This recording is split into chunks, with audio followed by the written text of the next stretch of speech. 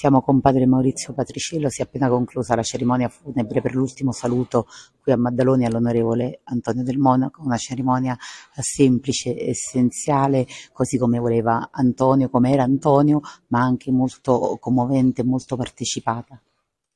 Sì, io ringrazio il Signore per aver conosciuto Antonio tanti anni fa, siamo stati amici di tante battaglie, sempre a favore del territorio,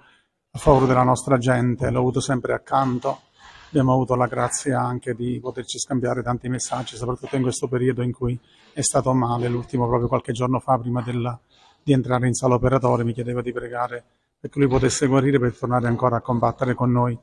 è arrivata la notizia invece che non ce l'aveva fatta. Ed è arrivato proprio il giorno in cui io ero già eh, così addolorato per la morte di mio nipote, è morto dello stesso male, logicamente, un anno dopo che è morto sua mamma, sempre con lo stesso male, e sono anni che noi andiamo gridando all'Italia che le cose qua non vanno bene in questo nostro territorio e per tanti anni nessuno ci ha ascoltato fino a che nel 2021, febbraio del 2021, l'Istituto Superiore di Sanità ha avuto il coraggio per la prima volta di ammettere che è vero che in questo nostro territorio ci sia male e si muore di più di cancro, di leucemia, più che altrove, anche per i problemi legati al, al disastro ambientale. Quindi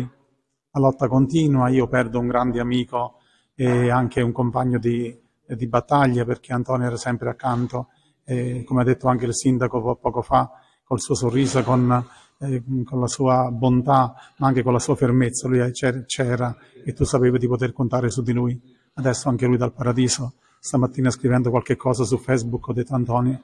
ci hai traditi anche tu, ci hai traditi, lo, lo dicevo veramente con, tanta, eh, con tanto affetto ma anche con tanta rabbia dentro perché l'ho vissuto anche come una, una sorta di tradimento. Non è il primo che se ne va sempre per queste malattie, prima di lui se n'è andato il nostro caro Maurizio Montella, che stava al, al Pascale, era il direttore scientifico del Pascale, anche lui con questo brutto male, e tanti altri amici. Noi continuiamo finché il Signore vorrà,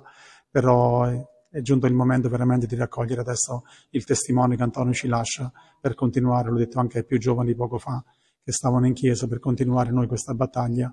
perché questo territorio possa rinascere. Questo è il messaggio che ci lascia Antonio. Io ringrazio il Signore per averlo conosciuto, per avergli voluto bene e mi sono sentito veramente da lui voluto bene e apprezzato. Grazie.